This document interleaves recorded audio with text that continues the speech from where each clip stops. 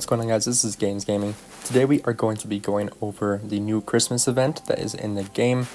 I wasn't able to make a video when it first came out just because I had a lot going on at work, but today I wanted to go over some tips and tricks on what you can do as a free-to-play or low-spend player in order to get the most out of this event. So as a lot of you guys know, this is the biggest part of the event. This is the usual 7,000 gem event that comes around every once in a while, typically around holidays. This is the best event in the game for your gems, in my opinion. You get so many rewards here just for spending 7,000 gems. The first tier alone of the five legendary commander sculptures is worth more than 7,000 gems when you go to the VIP shop because if you buy them straight from the VIP shop, your legendary commander sculptures are going to be 2,000 gems per head, and so already this event is giving you 5 legendary commander sculptures for 7,000 gems, and that's only if you do the first level. So as you go further and further, you get 500 gems here, you get some materials, you get some stars, you get tons of resources, and the best thing about this is if you max out all the way to the top, you get all of your gems back. And that is why this is the best event in the game because you can literally get all of this stuff completely free. And what I'm going to do today is show you guys how to get this for free without having to spend money in the shop here. So you can also buy the Christmas invite in order to get more snowballs, but you are not going to need to do this if you want to do it free to play. So if you're worried about not being able to finish the event and getting all the awards for your 7,000 gems, don't worry, I'm going to be showing you some tips and tricks on how to best optimize your account in order to get 7,000 gem unlock. So first, we want to talk about how to get the snowballs. So if we go right over here, you can see you get it through map collection. So when you go and get resources from the map, you can get more stockings, and stockings unlock snowballs. You can also get it through city collection. So whenever you collect from your city, so you can see when I collect here, I did receive some stockings. So I can claim these. Just got a couple stockings there. And then finally, when you defeat barbarians, you can also get stockings. This is going to be where you get most of your stockings from. And some of the marches that I would recommend, I have a couple of them out of my city right now but one of the first ones I would recommend if you have YSG maxed out, or even if you just have YSG, the first march I would bring is Lohar and YSG. The reason why is because Lohar is going to be healing you as you go. And so if I go over here and I hit this level 20 Barbarian, Lohar is going to get his first skill in, and then YSG is going to do his circle AoE. And so if you are able to, you're going to want to chain Barbarians and I do have a video on that so I will put that in the description as well if you want to check that out. But he's going to do his first cycle and then YSG is going to follow. And then as you can see he just healed all the way back to full health. So that is why I would bring Lohar YSG to start with. If you do not have YSG you can bring Lohar with a ton of other commanders that do AoE damage. And some of the ones here that I would recommend would be Aethelflaed you could also use her as primary. You can also use Kusunoki. He is an archer commander that does AoE damage. Similar to Keira, she also does AoE damage. And so if you wanted to, you could put any of those commanders with your Lohar. And then another commander you can use that I just didn't have room to take out. In a KVK2, you can use Sun Tzu, he does AoE. You can use Baibars, he also does AoE. Mehmed is also one that does AoE damage in a fan-shaped area. And so again, you can hit up to five targets on all these marches. And so that is going to be the best way in order to trigger as many barbarians as you can. Right here, for example, is a good way to hit barbarians because you are going to pick up both of these barbarians at the same time and you can get more of the stockings.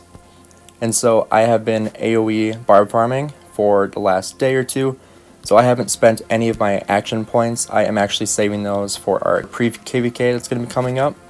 And that is one thing that I am very lucky about is that our pre-KVK is starting in about two days.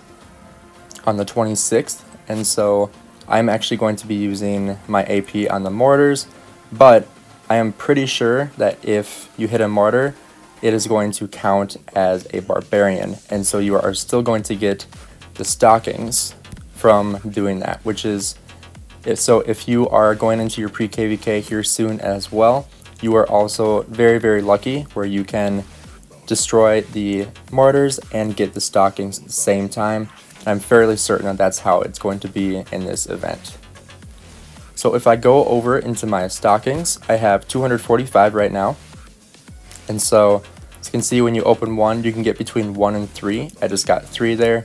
So we're gonna open up all of these here. So we and so as you can see when you open one, you can get between one and three. I just got three there. So we're gonna open up all of these here. So we just got 366 snowballs by using 24 stockings. So that comes out to be about probably one and a half per stocking. So on average, it isn't going to be closer to that five. That Lilith is obviously going to make you work a little bit for the stockings, but now we are able to go into our magic snowman. We have 412 snowballs able to put into the snowman. And so I am going to put this in. And so it does take a while to um, put in all of your snowballs, but one thing people don't know is you can just hold down your finger or hold down the button if you're on a computer, and it will go a lot faster than having to tap 400 times. And as you continue to level up the snowman, as you can see, he is like adding some extra stuff. I think he just got like a hat and a couple gifts right next to him. So as you level up your snowman, he does change a little bit. I'm curious to see what he looks like at the very, very end. I guess we'll find that out real soon. So we got about 130 more here to put in. We'll see if we get another upgrade on the snowman. And there are 25 levels in order to upgrade the snowman. As you can see, he just upgraded again. Now he has a little crown, some gloves, and a scarf. Alright, so we just got up to level 14, so let's check out what we got. We got the little gift thing. And one thing I wanted to also shout out, a couple people sent me some gifts. Um, the way you do that is by going to your VIP shop. You click on this little gift here. So as you can see, I now have one of the Christmas invites that I can send. So I can send anyone in my alliance some VIP, speed ups, materials, some reserves, stars. Um, these are also really good, the enhanced defense and attack. I will be sending somebody some equipment just because I know that's what everybody wants. That's what I wanted. But I just wanted to shout out a couple people who sent me some gifts. So, Kataket, thank you for the materials. Lord Death, thank you for the materials. And then Kataket again. Wow, thank you. So I got nine blue materials here. And so that comes out to bring me up to 195. I will be doing a crafting video here sometime soon before we go into our KVK. I'm also um, in Osiris League right now. If you guys haven't checked out the, the live stream that I did, um, feel free to go to my channel and check that out. Uh, we also, like I said, are going into KVK. So I have a couple material, a couple pieces of equipment that I'm going to be crafting. Right now, for sure, I'm going to be crafting Navarre's Control but I'm still uh, kind of looking around to see what else I want to craft. I did want to get a Dragon's Breath plate. I do not have the blueprints for it yet, and so I might hold off on that. But I am trying to kind of upgrade my archer equipment. Right now I have all purples. I can refine this, but I'm not using him right now, so I don't really have any reason to. So I'll do that in the crafting video as well. But I am trying to kind of upgrade my archer and cavalry mar marches. So right now I am an infantry player, and so my infantry set is going to be the best for me, but I kind of want to upgrade my other sets as well. Now I've been producing a lot more leather over the stone just because I'm trying to uh, use as little of my material plate of my material choice chests here as possible just because I want to save those up for crafting in the future. And so I've been just producing materials 24-7 as everyone else should be, but those are going to be coming in a future video as well. As you can see, my snowballs finally just stopped producing, uh, just because I held it down 400 times, so I had to alert me 400 times in order to do that. And so now we are going to kind of check out what else we got here. Got some XP, got some silver keys, speed ups, gold key, some resources, more experience, speed up stars. So as you can see, as you get further down, the rewards get even better. Some more resources, we get a decorative building. So I know a lot of people like those decorations, so this is another way you can get one of those. You can also get some achievements for building those as well. So if you're chasing achievement points, that's a great way to get it. Uh, some more speed ups and stars. And as you can see, the next one we get is 500 gems. And as we get further down, we have a 10 legendary commander sculpture, 1000 gems, and then 5 gold keys as well. So now we are going to unlock 7000 gem tier. We're going to confirm that. And it's going to automatically unlock those for us. So we can see we get 1000 gems, so we already got 1000 gems back.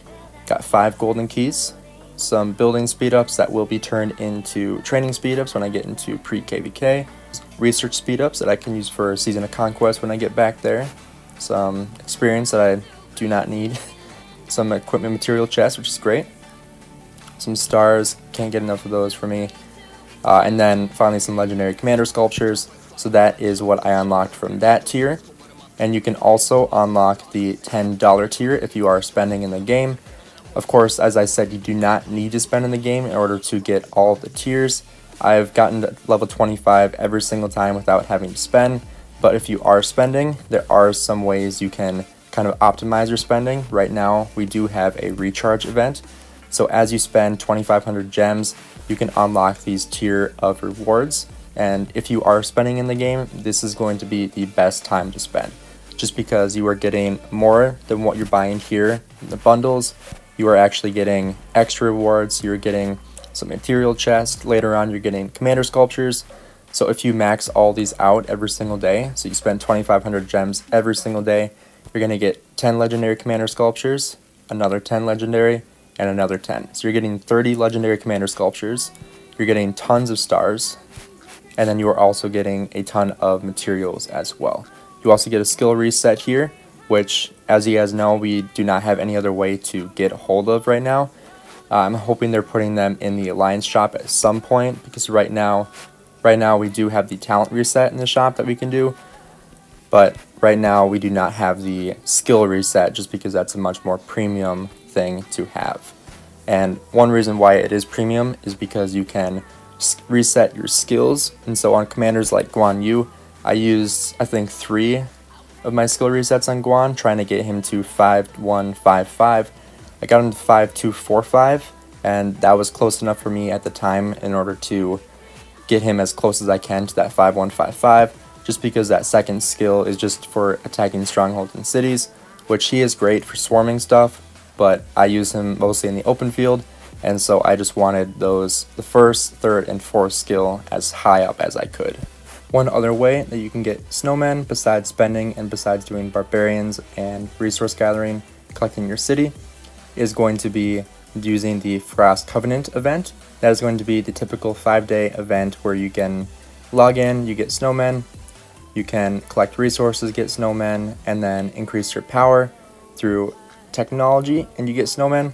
There are five different days of different events and so there is going to be one day of buying from the courier station. I believe that's going to be day four. Day two is for defeating barbarians. So as you can see, I have AoE'd 167 barbarians. So you need to get 300 in order to get all the snowmen. Day three is going to be rallying barbarian forts. So try to get the barbarians done by day three so that you can finish those rallies on day three. And then also consuming 5,000 action points I'm at about 4,000 right now, so that's to be pretty easy to complete.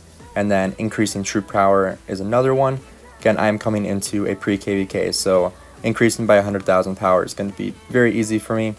I have about, I have quite a bit of troops being trained right now. As you can see here, I have 52,000 infantry being trained, 22,000 cavalry, 22,000 archers, then I used a 2000 extender on my Siege. That was actually by accident. I didn't mean to do that, but that's totally okay. I, I don't really care about my 2000s. I care more about the 20,000 and 50,000s. And so those are going to be found in your boost here. So I have another three here that I might be using for the pre-KVK. Might also use those for the upcoming Zenith of Power event, which is also going to be a great one if you're trying to push power. Race Against Time is also going to be giving you some snowmen, and so be on the lookout for that. It's going to be coming in a couple of days. And then Thief, Thief in the Night, if you guys remember that from the last time it was here, that's when we got a ton of gold. You went around a Sanctum, so similar to the Lost Temple, anything that has this little marker here on it, where you can get runes and, and defeat the Guardians, that is going to be the, where the Thief of the Night is. So it's going to be anywhere where you see this little marker.